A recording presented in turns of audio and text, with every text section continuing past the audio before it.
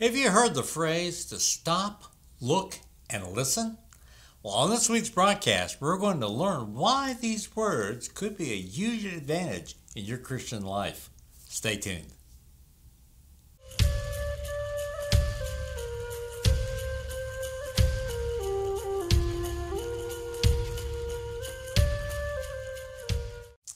And welcome to our second broadcast of the new season. So glad you've tuned in.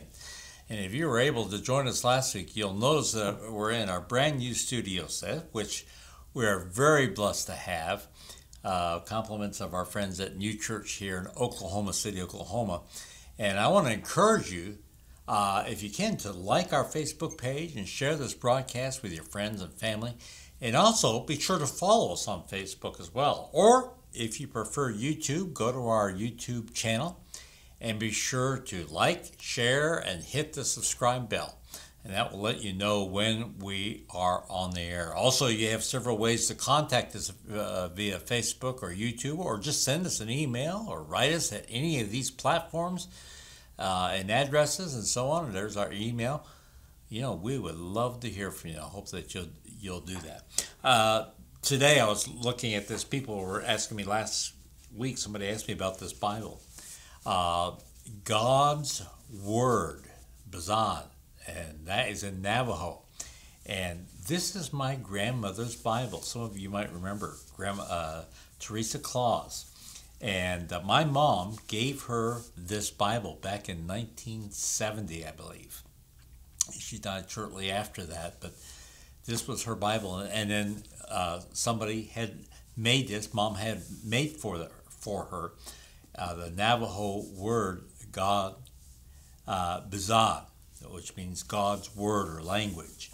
And uh, so I love this, and I, I've always tried to keep it uh, near me, and, and uh, it's a special uh, remembrance of my grandmother uh, Grandma Claus, and so I, that, that's people were wondering about what that was last week, and I'm, I'll probably just keep it right here, and let it be uh, something you can see, and uh, for all our Navajo friends, they're going to recognize that right away. So that's going to be uh, something interesting for them.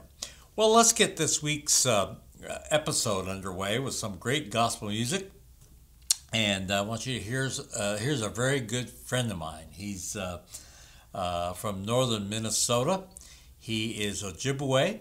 It's Reverend Craig Smith, and Craig and I go back a lot of long years together. And uh, I want you to listen. He, he sings a beautiful song. It's entitled "Everything in Jesus." And then we're going to be right back with this week's devotional. So stay tuned. Amen.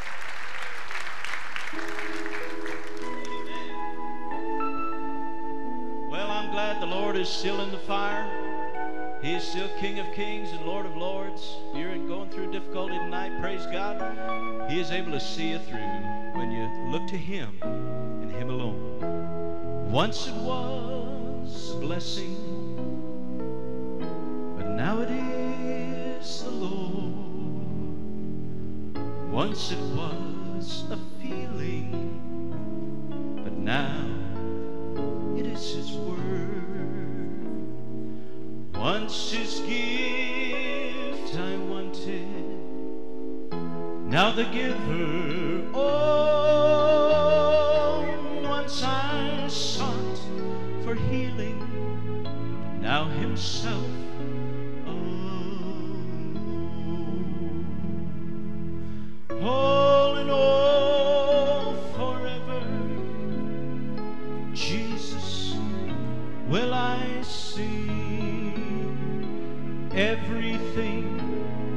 In Jesus, in Jesus. Everything, everything in Jesus, in Jesus. Everything.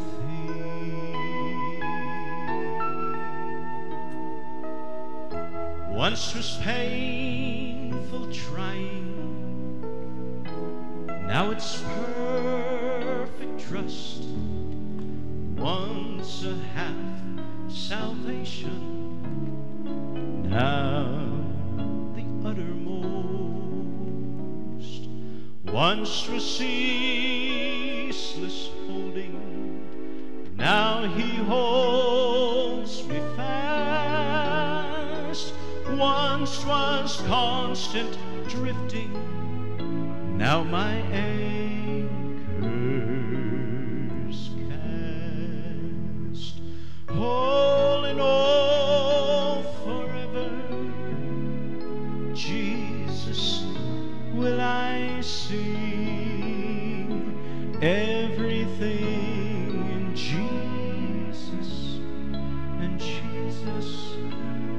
everything, everything in Jesus and Jesus, everything.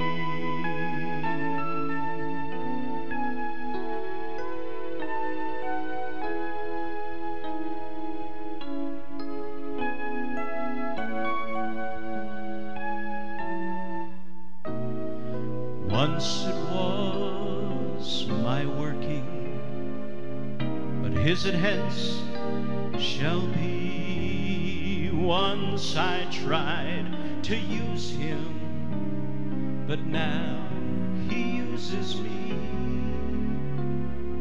Once the power I wanted, now the mighty one. Once for myself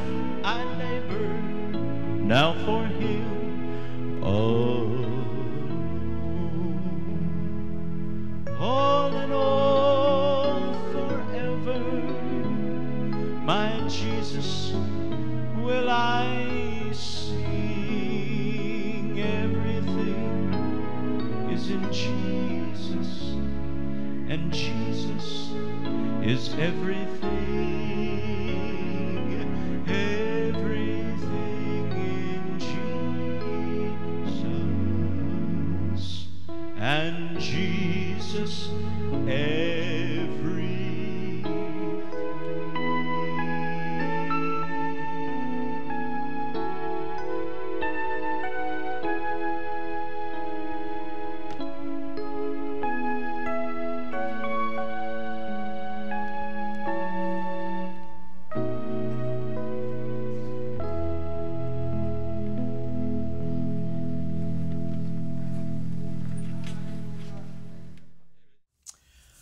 hope you enjoyed that great song sung this by Craig Smith, uh, Ojibwe from northern Minnesota. I hope you that song was a blessing to you. Well, our topic today is stop, look, and listen. You know, in society today, many of us have kept a, a busy uh, schedule with work, our family, school, and much more, and we are always in a hurry mentally. Uh, don't feel bad if you're in that position. I'm guilty of it too. It always seems like there is never enough time in the day. In all this hustle and bustle of activity, though, we sometimes become overwhelmed. And when I think of these words, stop, look, and listen, I'm reminded of a time when our family first purchased our first touring bus back in the early 70s. Back in that time, mainly the Greyhound buses, school buses, and trucks would when they approached the train track, they would always have to stop at the train tracks.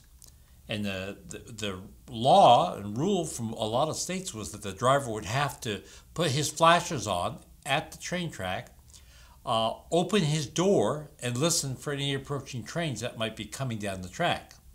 Well, my dad would do the same thing in the states where it was the rule with our bus. And uh, so that was something that was always going to stop, look, and listen. But I can relate that to something now as a uh, grandfather to a beautiful little granddaughter.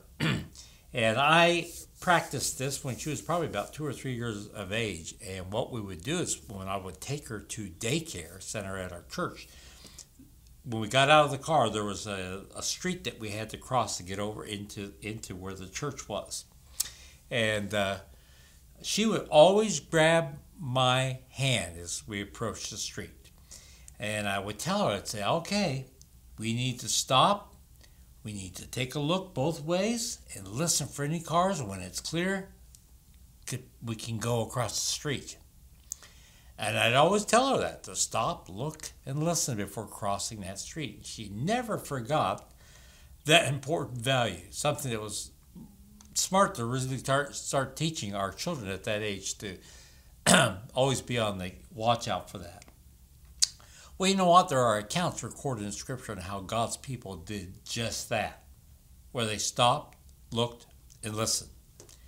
And Jesus could see that, like today, the people became busy and were not focusing on Jesus. They were distracted.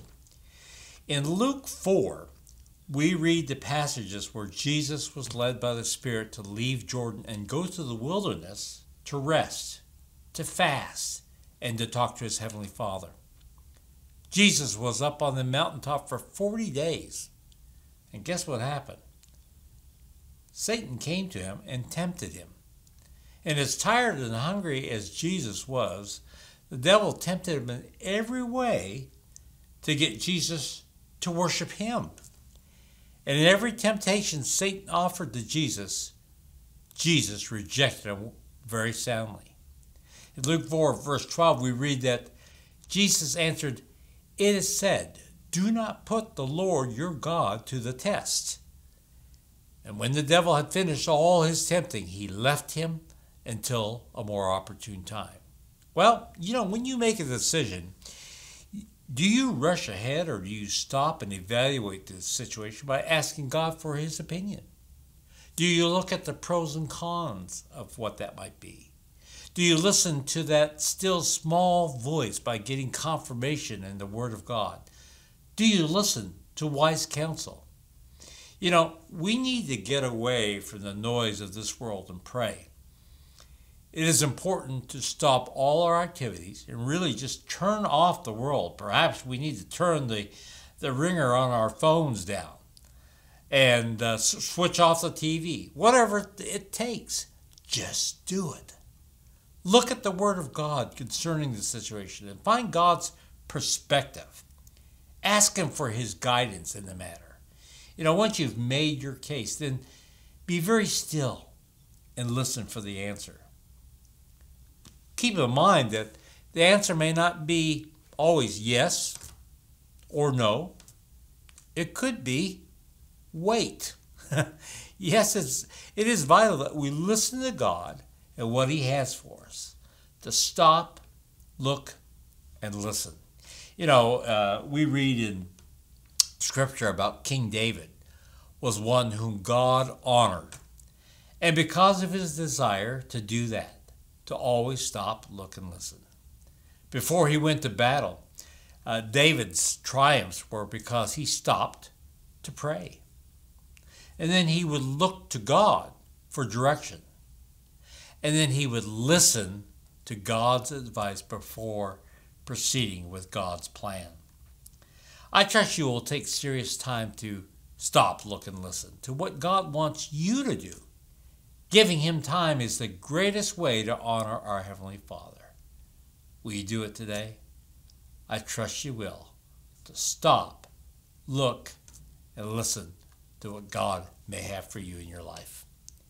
I hope you'll plan to join me again next Thursday at the same time for another episode of Living Hope Today. We hope that you'll join us then. Until then, may the Lord bless and keep you.